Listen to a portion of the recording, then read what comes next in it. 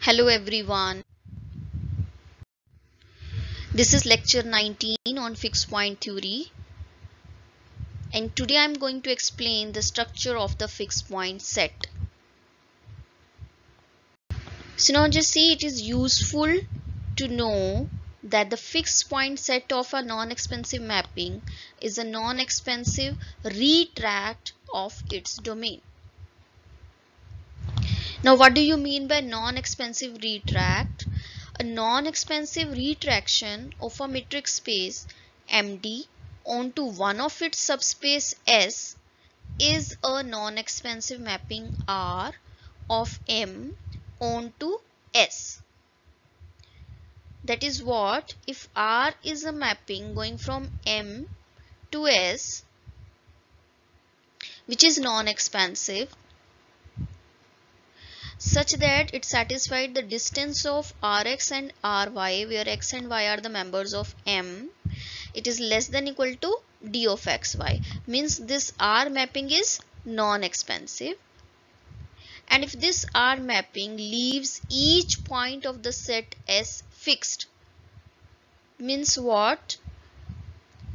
The Rx is equal to x for every x belonging to S then this set S is said to be the non-expansive retract of M. So once again see what do you mean by non-expansive retraction? We are given a metric space, we are given any subspace of this metric right and now we are given a mapping which is going from M to S and this mapping is non-expansive means it's satisfying this condition right? And if this mapping leaves each point of set S to be fixed means S uh, the map R of X is equal to X for every X member of S. Then we say that uh, there this mapping R is a non-expansive retraction and the set S is said to be non-expansive retract of M right? So uh, now we are seeing some uh, useful thing about the fixed point set of a non-expansive mapping which is non-expansive retract of the domain right? And throughout this section we will denote ft as a set. Which set? It is a fixed point set of the mapping t right? So this ft denotes the fixed point set of a mapping t. And that this is a theorem this says that suppose m is a metric space which has the property that the fixed point set of every non-expansive mapping of M into M is a non-empty non-expansive retract of M. And this is assumption right? That M metric space which satisfying this condition. And suppose T and G they are commuting non-expansive mappings of M into M. Then the set of fixed points of T intersection with the set of the fixed points of G is non-empty. So to prove this we consider any point of ft right? Means x is a fixed point of t. Then what will be the value of t of g and g of t? Since t and g they are commuting so therefore t of g uh, first of all it will be equal to g of t. Now what will be the value at x now just see when you open this g of t x is same as that g of t of x. Since uh, x is a fixed point of t so t of x is same as that x. So we get this is gx so x is any fixed point of t right? And g of t is g of x which is same as that t of g. So what we have? We have g is a mapping going from ft to ft so basically this G is a non-expansive mapping from fixed point set of mapping T to fixed point set of mapping T. So by our assumption there is a retraction non-expansive retraction let it be R and which is also non-empty. So thus G of R is a mapping going from M to ft which is non-expansive, which is non-empty fixed point set However, since R is a retraction onto Ft, it is onto Ft. So therefore, the fixed point set of the mapping G of R will be equal to the fixed point of mapping G intersection with fixed point of the mapping T. Right? We can easily prove this. We first consider the left hand side. Right? Let X be fixed point of the mapping G of R. If X is a fixed point of the mapping G of R, it means G of R at X is same as that X right it means g of r of x is equal to x right? But r is a retraction so r of x will be equal to x if x is a fixed point of t okay? So it means x is a member of ft so whenever x is a member of ft r of x is equal to x. So what we left? We left g of x is equal to x. So that means x is a fixed point of g also. Right. So whenever x is a fixed point of t using this retraction x is a fixed point of g also. So if you take any fixed point from this mapping it is also a subset of this and similarly the converse if you take x to be the fixed point of this as well as x to be the fixed point of this then this implies that this implies that g of x is equal to x where x is a fixed point of t. Since x is a fixed point of t therefore Rx should be equal to X because it is a retraction right of M onto the non-empty set Ft. Okay, so what we have? We have g of x f g of x is equal to x. Why it is equal to x? Because x is a fixed point of g also since it belongs to the intersection right so this implies that g of r of at x is equal to x. So hence x is also a fixed point of the mapping g of r. It means this should be contained in this. So from these two what we get these two are equal. Right. So we can show easily that these two are same you first consider the left hand side and you will show it is a member of right hand side and then you take any member from the right and you will show it is a member of left. So therefore these two are equal. Right? Since these two are equal and by our assumption uh, we get at least one point which is a fixed point is a member of this therefore this should be non-empty. Right? And this thing we have to prove. Moreover moreover what we get? That f T intersection FG is also a non-expansive retract of M because it is equal to G of R. And this is non-expansive retract of M.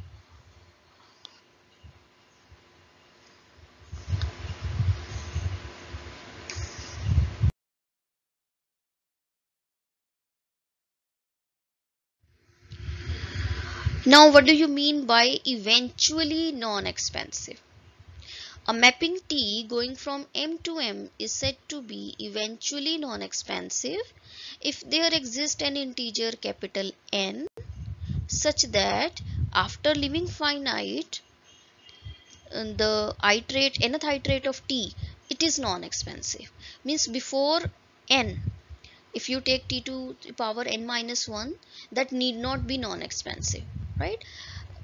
So t to the power n is non-expansive and after this capital N every uh, mapping is non-expansive. Then this mapping t is said to be eventually non-expansive. Now based on this we have a theorem. This says that suppose M is a metric space which has the property that the fixed point set of every non-expansive mapping of M into M is the non-expansive retract of M and suppose T is a mapping which is eventually non-expansive then the fixed point set of the mapping T is non-empty. We have to show this thing. So by the definition of eventually non-expansive, for if uh, we find some capital N sufficiently large, then we can easily verify that t to the power n and t to the power n plus 1 they are commuting non-expansive mapping of m into m. You can easily show that t to the power n of tx will be same as that t to the power n plus 1 of x of tx so they are commuting right? So they are commuting they are expense non-expansive mappings so we can apply the previous theorem.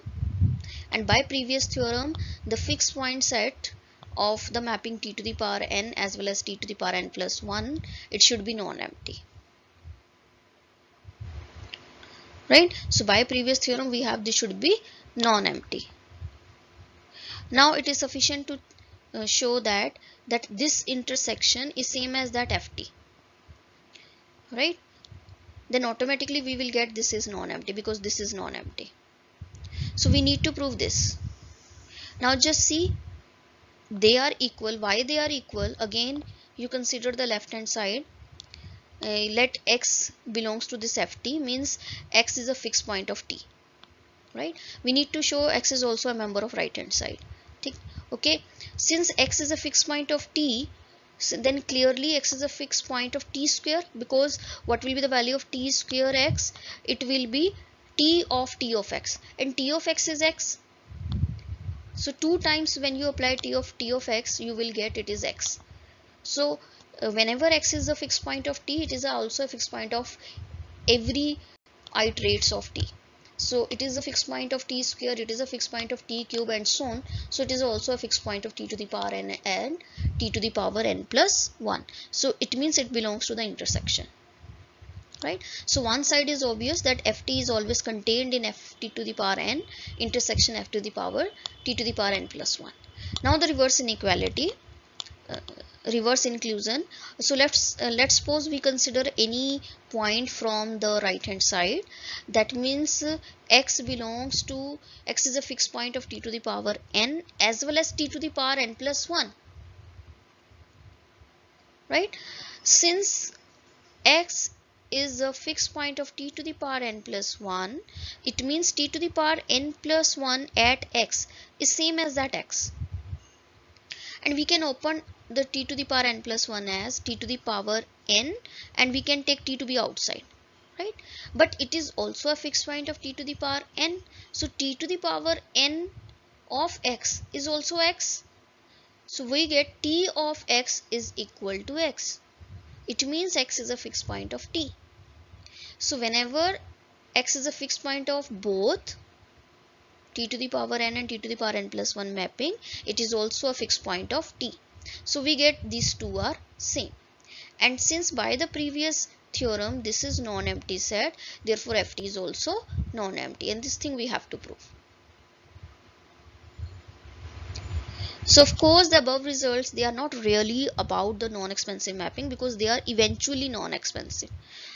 So here it is eventually non-expansive. So they are not for uh, non-expansive mappings all one need to know is that there is a retraction from the domain of mapping onto its fixed point set which can be drawn from a class of mapping for which the original domain has the fixed point property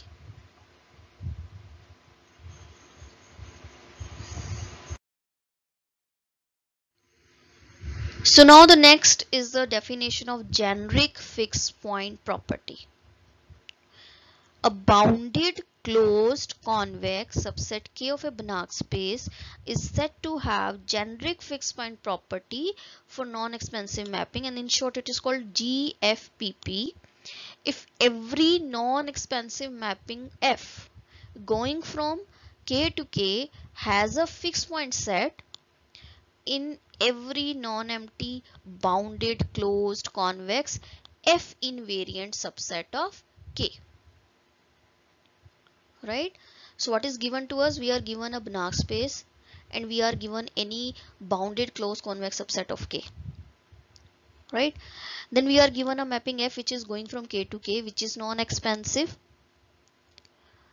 And moreover every non-expansive mapping which is going from k to k if this mapping has a fixed point set in every non-empty bounded closed convex f invariant subset of k then this set is said to have generic fixed point property.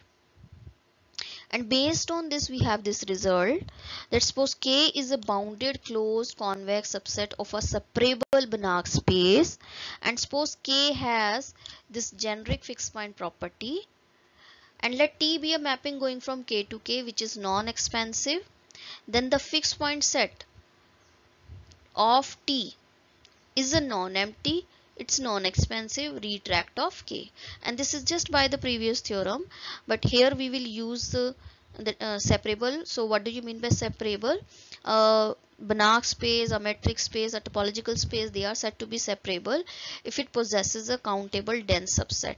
Means if it contains a countable dense subset. Right? So this theorem can be proved with the help of the previous theorem.